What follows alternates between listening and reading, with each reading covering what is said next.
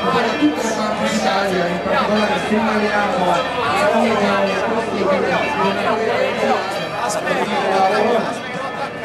Intanto fermano i partiti per